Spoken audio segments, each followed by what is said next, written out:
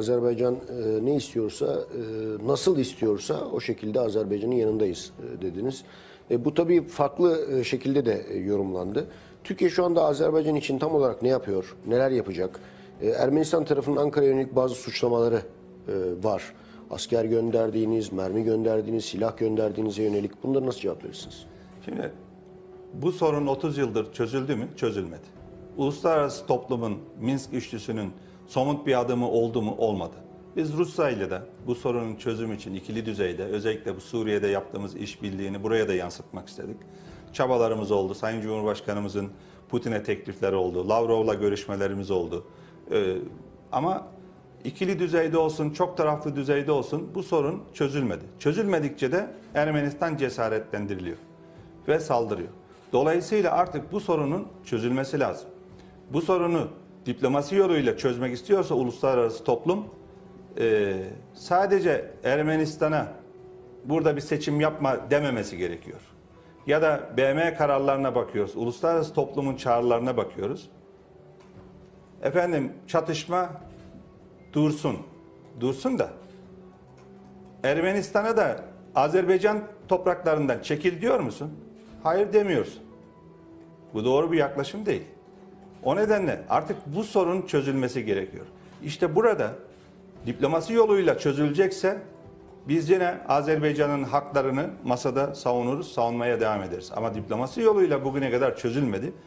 Azerbaycan da kendi topraklarını e, işgalden kurtarmak istiyor. Mücadeleyi kendi topraklarında veriyor. Dünyanın hangi ülkesinde yani kendi topraklarındaki bir mücadelede mücadele verilirken işgalciyle işgal edilen toprakları işgal edilen ülke eşit muamele görüyor. Ukrayna'da, Kırım'da bunu yapıyor muyuz? Haklı olarak Ukrayna'yı ve Kırım'ı destekliyoruz. Haklı olarak Gürcistan'ın e, toprak bütünlüğünü destekliyoruz.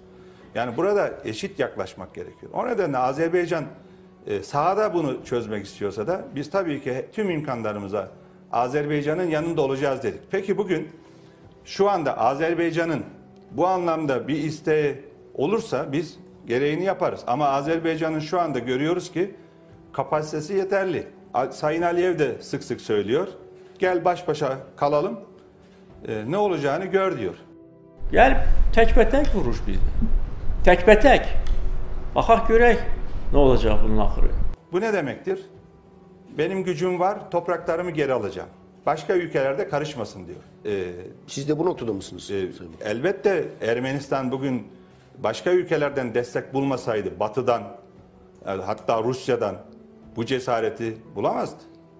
Ee, dolayısıyla Azerbaycan diyor ki, benim gücüm yeter diyor. Doğru, gücü de yeter, kapasitesi var.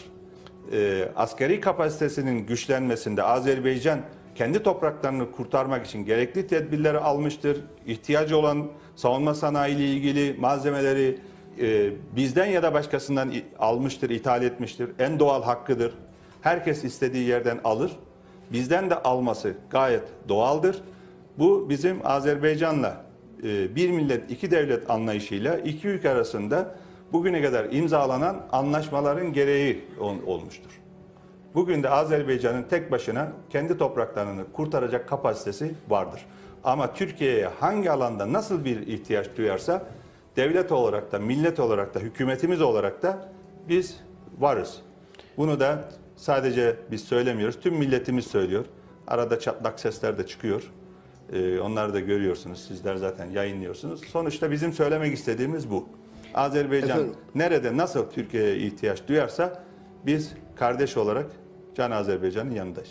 Sahada bir çözümden yanasınız öyle anlıyorum. Ya da Azerbaycan'ın bu yolu tercih etmesinin daha kendileri açısından mantıklı olduğunu söylüyorsunuz. Yani siz ateşkesin e, soruna çözüm getireceğini değil, at- soruna kaynak teşkil eden Karabağ işgalinin ortadan kalkmasını mı şart koşuyorsunuz? Muhataplarınıza bunu mu anlatıyorsunuz?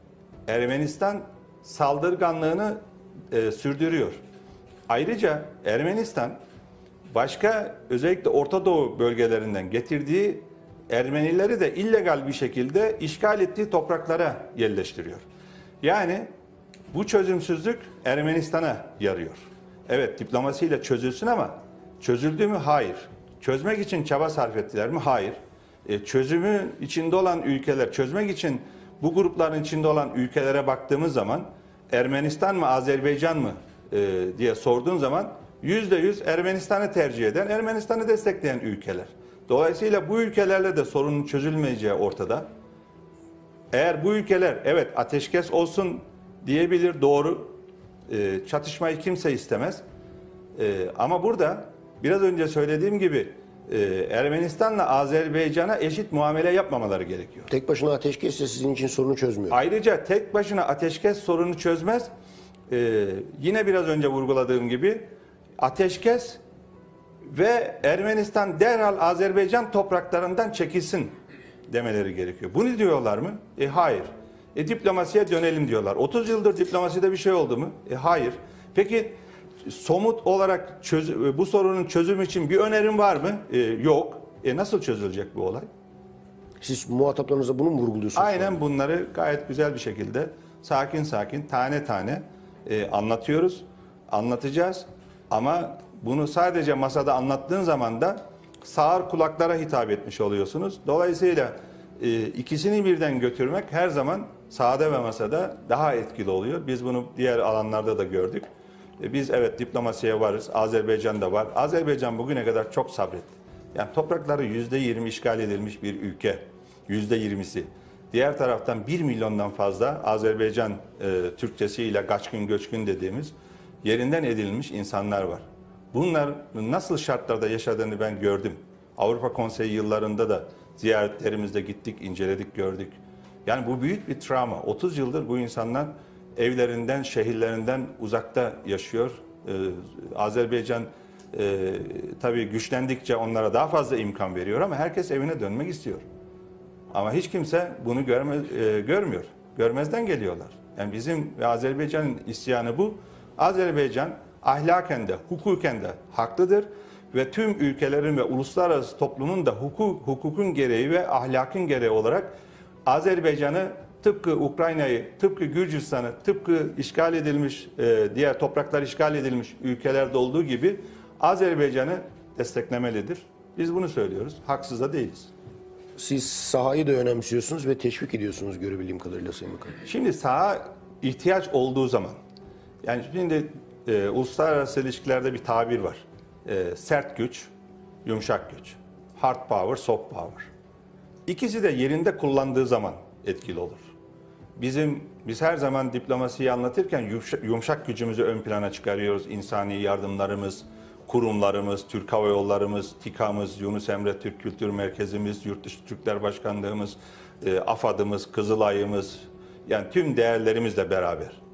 Ama şimdi e, Doğu Akdeniz'de veya e, Suriye'nin kuzeyinde terörle mücadele ederken e, sahada olmasanız bu mücadeleyi yapabilir misiniz? Veya Doğu Akdeniz'de e, 2003 yılından bugüne kadar belki onu da konuşuruz. Evet. Şey, bizim tüm çağrılarımıza rağmen Türkiye'yi ve Kıbrıs Türklerini dışlayan ve haklarımızı yok sayan adımlar e, adımlara karşı yaptığımız tüm çağrılara rağmen bu adımlar devam ettikten sonra sahada olmasak bu konularda sonuç elde edebilir miyiz? E- edebilir miydik? Hayır edemedik maalesef. Yani saha Tamam, tamamlayıcı bir unsur. ta- tamamlayıcı bir unsur. E, yeri geldiği zaman çok önemli bir unsur. O nedenle sahada ve masada diyoruz. İkisini birden kullanmakta fayda var. Siz e, ayrıca e, iki devlet tek millet vurgusuyla e, Azerbaycan'la da yakın ilişki içerisinde sizin meslektaşınızla da görüşüyorsunuz. E, onlardaki duruşu nasıl değerlendiriyorsunuz? Kararlı diyebilir miyiz? Son derece vakur ve kararlı. Halkta da bu duruşu görüyoruz. Halkın da hassasiyetini, duygularını görebiliyoruz. Bize yazdıklarından takip ediyoruz. Sayın e, Cumhurbaşkanı İlham Aliyev de aynı e, vakur duruşu e, görüyoruz. Cumhurbaşkanımız da sürekli temastalar. E, bizler yine e, Ceyhun kardeşimle olsun, diğer muhataplarımızla sürekli temastayız. Kararlı duruyor, güçlü duruyor. E, haklıysan zaten hem kararlı olursun hem de güçlü olursun. Haklısın çünkü. Yüzde yüz haklısın.